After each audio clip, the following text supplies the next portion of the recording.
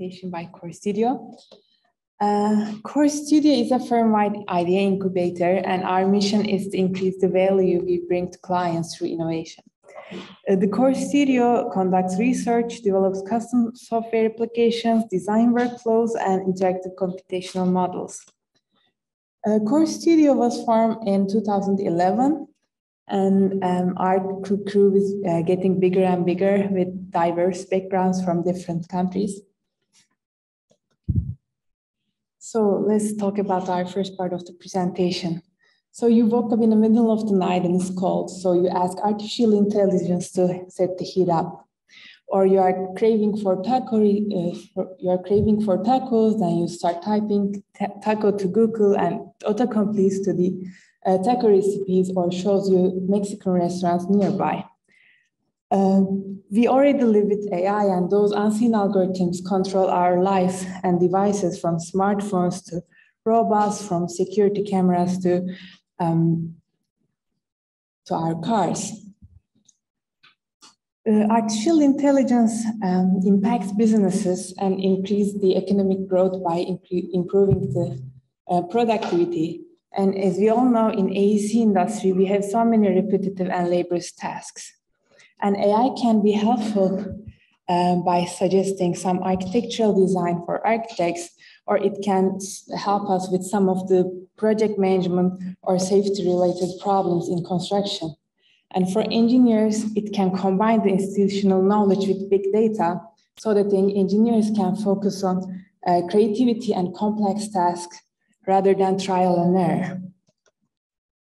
So uh, with that being said, uh, it would be perfect if we could transfer the entire company's knowledge uh, to different apps. And as Core Studio, we believe that it's possible and it, we can achieve this by using AI. And we will walk uh, you through some of our current projects. So first one is T3PO.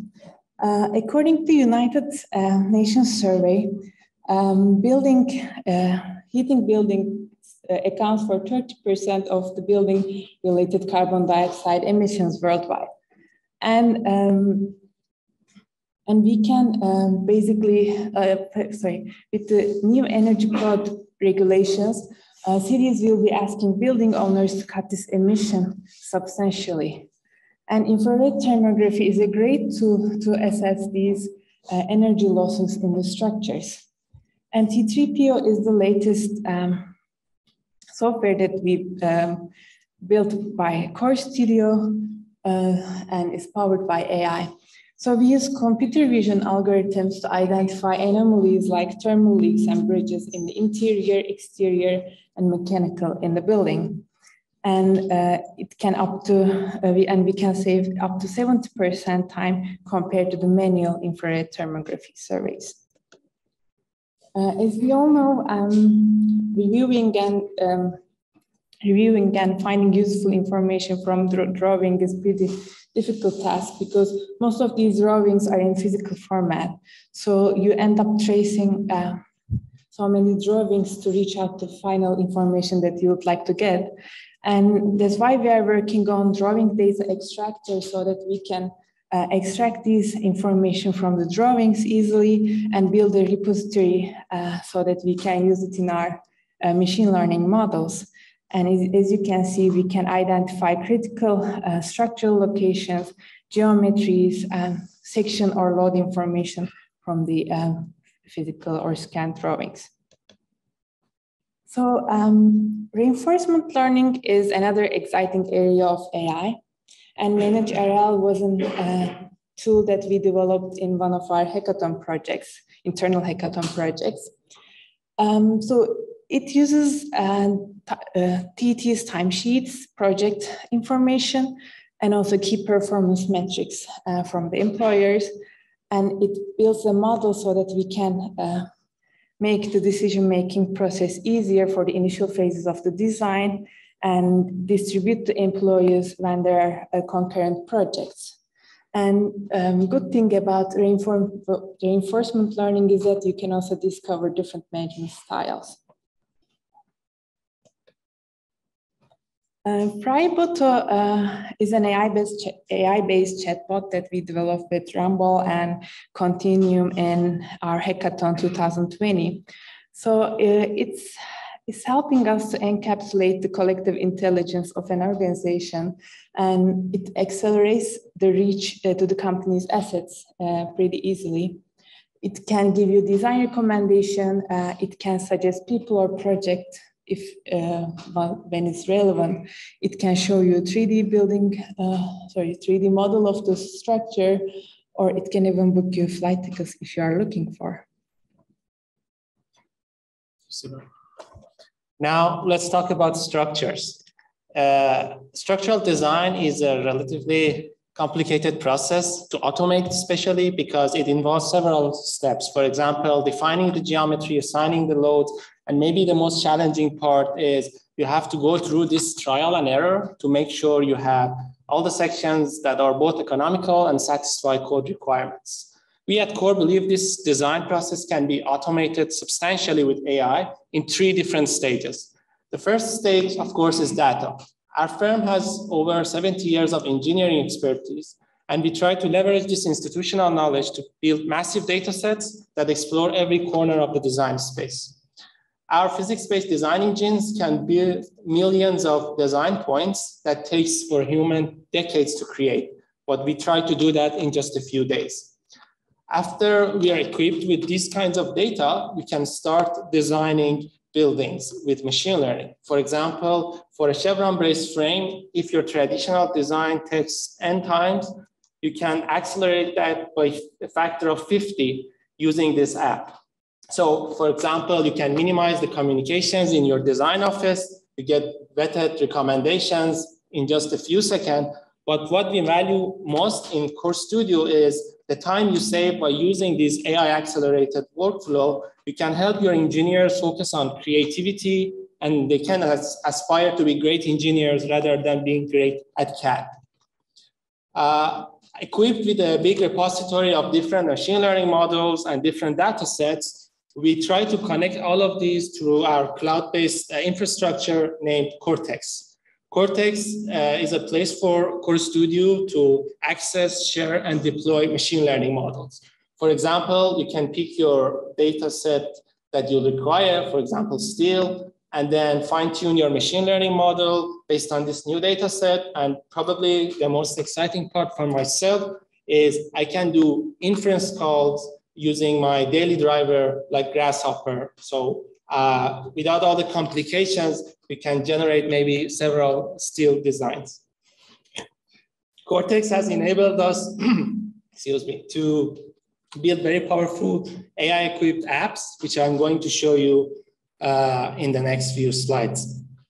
If you are an engineer and you have designed timber, you probably know about all the tables and exceptions that come with different species of timber. The machine learning app behind the glulam timber designer has seen over 30 different species of glulam and does the job for you with just a few uh, clicks that helps the app to identify the geometry and you just get the column profile for up to 20 stories. As an engineer myself, I have spent countless hours designing hundreds of girders and beams for different floor layout plans. And this process takes time because not only you have to design for forces, but you have to make sure the vibration criteria and serviceability things are all satisfied. And the Steel Bay Designer app does that for you by just, by just specifying how many bays you have and how long they are. Finally, shear walls. Imagine that you're on a call uh, about a skyscraper project in Midtown Manhattan with an architect and the architect is asking you if you can make the shear walls just slightly smaller. Also on the same call, you may have the client who's asking you a relatively good estimate of how much steel or concrete they should buy uh, to build this shear wall. Well, this app, like the previous ones, can be your real-time assistance. Uh, we would like to conclude this part of the presentation by saying that Core Studio is very excited about the future. We also understand how powerful AI is, and with great power comes great responsibility. Our team is comprised of people with uh, diverse backgrounds, as Sila mentioned, including architects, structural, and machine learning engineers. And we value that our products are being constantly reviewed by seasoned engineers at Thornton Tomasetti. Uh, with that said, uh, we strive to make sure that this AI integration is done the right way, which is by the AC professionals. Thank you, and back to Dave.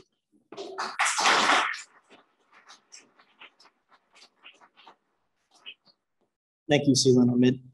Everyone, great to see everyone here in person. It's been a long time, so fantastic. Uh, I want to talk about an application uh, today that we are releasing uh, early next year uh, called Ellipse. And Ellipse is a little thing we've had about two years of development, but I'd say over a decade of kind of feedback and direction coming into it. And the questions that kind of sparked Ellipse was, you know, looking at the current process of project delivery, design, development, and all the phases of it, and thinking about how many thousands of data points, how many thousands of hours, uh, how many different stakeholders all come in to the development of a project and how much of that data is actually lost in that process, whether to time or through communication. Um, there's a lot of information, a high percentage of it that ultimately just gets dissipated uh, in the process and lost to, uh, to history.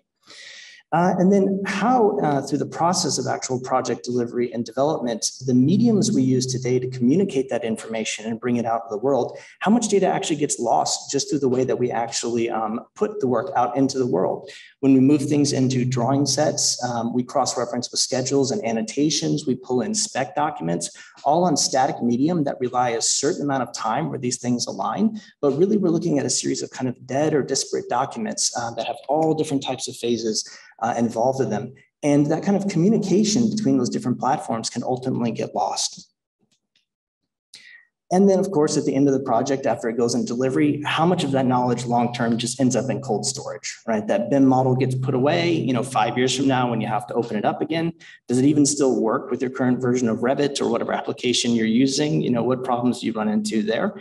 So, how can we actually begin to think about creating an ecosystem or an environment where all these disparate sources, disparate stakeholders, uh, and then all the different data sources can come together into one place uh, that we can access? Uh, and so along that process, then what's everything that has to be maintained? The geometry of the project, all the graphical clarity and information that goes into a good drawing sheet and annotation, the information and the data, but also all the cross connectivity. You know, one of the great things about BIM models and what it's brought is the ability to basically connect these sources within the platform itself. But so much of that gets lost when it exits that ecosystem out into the world. So in the eight minutes I have left, or however many, a very brief history of the uh, decade of exploration into lossless approaches, which is something uh, that Thornton Tomasetti uh, and Core Studio have been looking at basically since the founding. So Core Studio has kind of looked at this from three different mediums of delivery um, since the beginning and kind of hackathons and prototypes. Uh, early hackathons looked at an application called VA3C, which was the first kind of approach to beginning to move three-dimensional modeling uh, up onto the web uh, and make it accessible to multiple stakeholders collaboratively. Uh, pollination was a tool that took the idea of all this BIM data that gets generated. Can we create an online platform where it can be shared and exchanged? Uh, and again, kind of added to over time. And then one of the uh, later applications we looked at was how do we actually take all that 2D drawing information uh, that ultimately is what we deliver uh, as architects and engineers uh, into the world, and then bring that up to the cloud. Uh, over the next couple of years, uh, Core Studio, I basically worked on refining these ideas through a lot of feedback from all of you, uh, and then also internal testing, uh, and beginning to develop libraries that could support this type of an effort. And these kind of over the past couple of years culminated in three different applications uh, that all basically took this information, put it in web applications, and then opening it up to the public um, so that everyone could begin to try sharing it, using it on their projects, and ultimately learn how this process is evaluated. Uh, and as that began to develop, one of the key things that became important is the need for cross communication between all these platforms. But since we had basically um, built three independent platforms, it became a lot of hot wiring behind the scenes, and it became pretty clear that uh, we needed to kind of reinvent that problem. And so to simplify it, basically what we thought about is can we take it back down to just looking at 3D, 2D, and data visualization and building a new platform in the central, um, in the center of that uh, which we look at as an AEC data studio. Uh, we're calling Ellipse. Uh, and so at the heart of this new platform is basically the project data, which again, not just from multiple software, but multiple stakeholders is looking to bring it together. And it's not quite as simple as that previous diagram. As we've mapped it out, that's kind of expanded in complexity. Um, but how do we address all of these things to create a very simple user experience for accessing Ellipse? So what is Ellipse and where is it at today? Um, basically, Ellipse allows you to take all of that information coming from BIM platforms or ultimately um, several other different platforms, um, be it drawings, models, or even sheet sets, uh, and then take each one of those um, pieces of information and then upload it to a web platform um, that is accessible to uh, multiple users, as well as kind of curating what data ultimately goes up into the platform itself. That information uh, is then accessible online um, for both accessing 3D models, um, 2D drawings, uh, and the data set simultaneously, and beginning to leverage those attributes um, to visualize data uh, that's behind it that maybe the uh, application you're working in doesn't easily display, uh, and begin to explore uh, the actual values underlying the geometry and ultimately the design of the project. Um, it also allows you to go in and kind of query information. So how do you very rapidly take those models, drawings, or even just the data itself and begin to evaluate uh, and look at the distribution of the, uh, the different data points? Uh, and then also one of the big goals was to maintain that cross connectivity. So one of the big advantages, again, in a platform like Revit, is that you can query in the model where a drawing element is coming from and find out where that um, uh, information is associated, and then see where else throughout a drawing set uh, it's also located. So Ellipse allows you to maintain that connectivity, the topology of the model and the drawing set uh, outside of the, the Revit platform. So when you want to uh, click on a uh, element inside of one of your drawings and see where it is in 3D, you can still maintain that relationship. And then as we get further into it, eventually uh, see where else it is uh, in the kind of drawing sets, and then also see all the data that's associated with it uh, as well. Uh, and we wanted to build Ellipse basically not as kind of a static dashboard, but as a flexible platform um, where you can kind of construct how it is you would like to visualize this information um, based on the stakeholder or team member or whoever you're working with you would like to share it with. So uh, one of the underlying um, uh, drivers of Ellipse is allowing a kind of maximum flexibility to customize the way you interact with these models and data um, on a kind of case per case basis, whether that's through the lifespan of a project uh, or depending on uh, who ultimately you're looking to communicate information to. And so here we can see just a little bit of uh, the ability to kind of build up your own project dashboard, uh, which can have everything from uh, 2D drawings, 3D models, uh, down to just typing some text or putting together a little presentation. Uh, and additionally, we didn't want to just limit it to the software that we're aware of and use, um, but wanted to provide the ability to basically just upload data, models, and drawings directly into the application. Um, so one of the uh, main features uh, in Ellipse is that you can actually upload your models, drawings, and data sets directly and at multiple different times. So as your project kind of progresses, you can add this additional information in and build up uh, a kind of a larger project, um, or sorry, a central project that you can distribute uh, to your entire team.